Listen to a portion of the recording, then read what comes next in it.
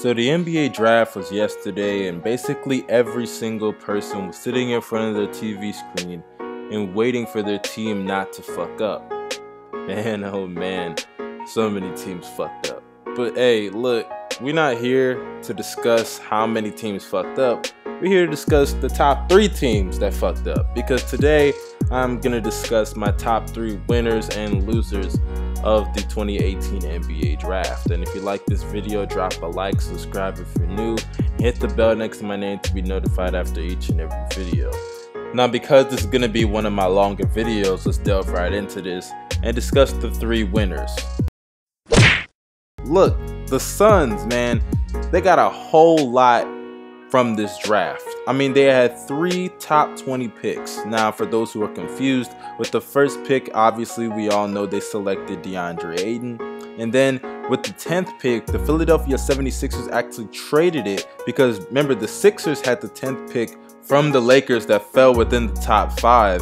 And then obviously they selected Lonzo Ball. And because their pick fell within the top five, the Philadelphia 76ers were able to get the 10th pick. And with the 10th pick, they selected Mikal Bridges, but the pick was traded to Phoenix later on in the night. So that means Phoenix has the rights to Mikal Bridges. And then also later on in the night, the Phoenix Suns also picked up the 16th pick from Miami, which was traded to Philadelphia. And then Phoenix obviously got that pick from Philadelphia. Now, Philadelphia, we're going to discuss them later in this video, but just for the simple fact that Phoenix was able to get three top 20 picks that fit their roster, by the way, and Zhaire Smith, Mikal Bridges, who can contribute right away, and obviously DeAndre Ayton, who can perform at an elite level offensively, hopefully. Of course, that's what they're wishing for. So that alone is enough for them to be the number one winners of this draft. The number one pick, the number 10th pick, and also getting the number 16th pick. And one of their players, or should I say two of their players, are NBA ready as we speak. And having a small forward in Mikal Bridges that is NBA ready as it is, Zhaire Smith can be developing in the works. So shout out to the Suns for finally getting something in the draft after taking an L last year and taking a dub this year. Now, the next winner that we're going to discuss has to be the Atlanta Hawks. Because look, Atlanta, I did not see them moving up or down, but I definitely thought if they moved down, they possibly could have been losers because I had them picking Jaren Jackson. But obviously, with reports that Dennis Schroeder doesn't want to be there, and there are reports that they were super high on Trae Young. So if you're going to be high on Trae Young, you might as well move down and get some other assets while you can get Trae Young later on in the draft. It's kind of like the Boston Celtics because let's be real here, if the Celtics have the first pick, why keep it when you can just get some assets and you can get who you still wanted to get from the draft class in the first place. So I think that was a smart move for the Hawks if they were planning on getting Trae Young, which they did. They selected Trae Young with the fifth overall pick and traded their pick down from the third pick to the fifth pick with the Dallas Mavericks in exchange for a future pick next year, which will be top five protected, of course. But we all know I don't think the Mavericks are going to be a top five pick next year. At least that's not what I think they're projected to be. But hey, if they do fall in the top five, I'm sorry, Atlanta, you would be losing this. But I'm assuming that the Mavericks pick will fall out of the top five. And if that happens, shout out to the Hawks because next year the Hawks could potentially have a top five pick and a top 10 pick, or at least have just two top 10 picks, which is always a plus for any team in the NBA.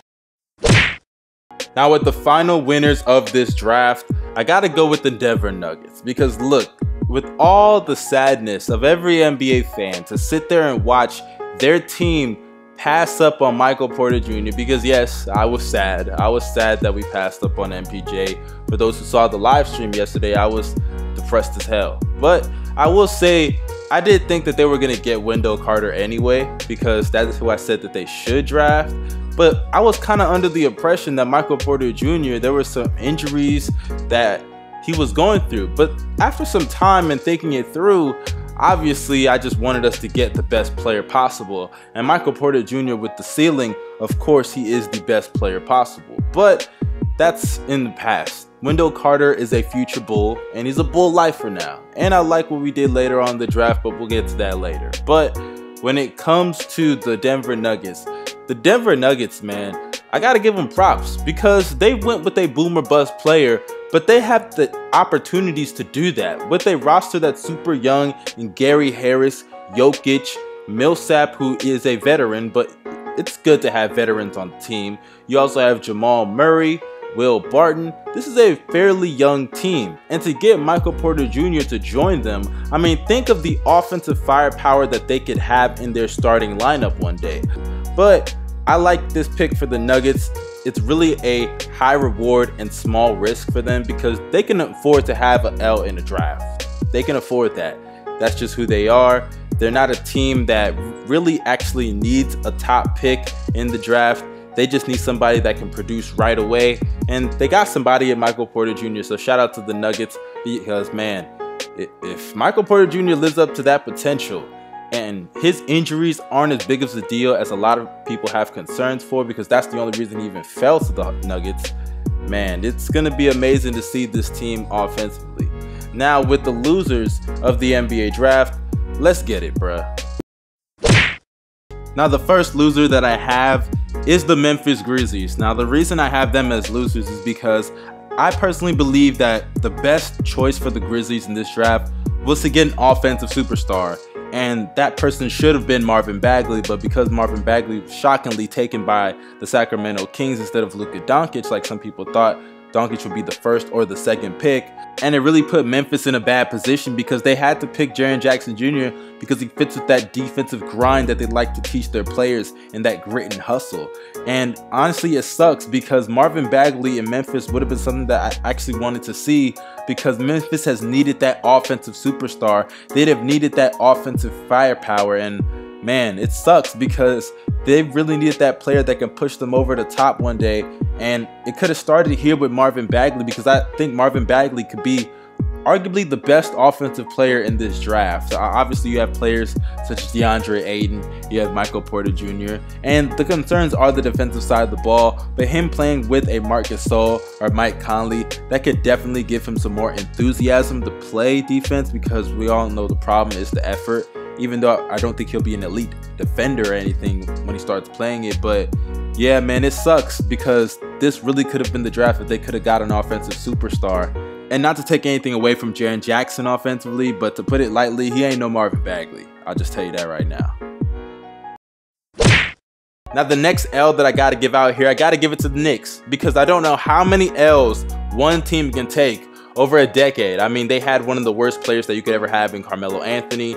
I mean, they suck as an organization. They suck as a franchise. They have a great fan base. They have a great market, and they just suck. It just pisses me off.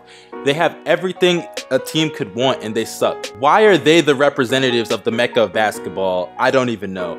But them picking up Kevin Knox, look, I like Kevin Knox as a player. I don't think he's a bad player, but I don't think he's going to pan out in New York the way someone like a Mikal Bridges would have. I think Mikal Bridges would have really helped this team, especially as a 3 and D player.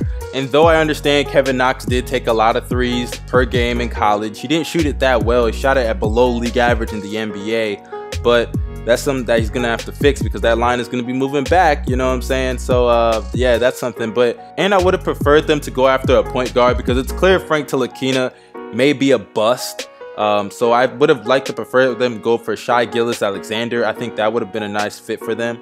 Um, and yet, when it comes to this team, they didn't even select a good later round pick. Mitchell Robinson, I don't think he's going to work at all. I think he's a huge gamble. I see that failing for the Knicks like basically everything has over the past decade. And uh, yeah, that's just the story of this franchise. And another year gone, another top 10 pick, and it's basically wasted, guys. I'm sorry.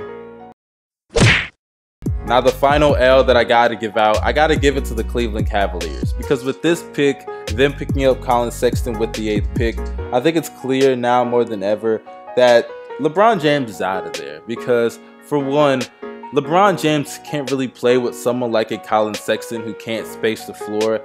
And I understand that LeBron has played with other point guard ball handlers, but not players who cannot space the floor. Isaiah Thomas wasn't hitting shots. That's why they traded him. Kyrie Irving could space the floor. He was a threat off ball because of his three point shooting. And it doesn't look like LeBron's going to change the kick out to the shooters on the perimeter method and on the corner basically method. So, with that being said, why would Collin Sexton fit with LeBron James? He's an athletic point guard, I get it, but he's not going to fit with how LeBron James plays and how everybody is basically relegated to being a spot up shooter if you're not a ball handler who can shoot the three ball and be a good off ball threat because of your three point ability. So when it comes to Collin Sexton and LeBron playing together, I don't really see that working out.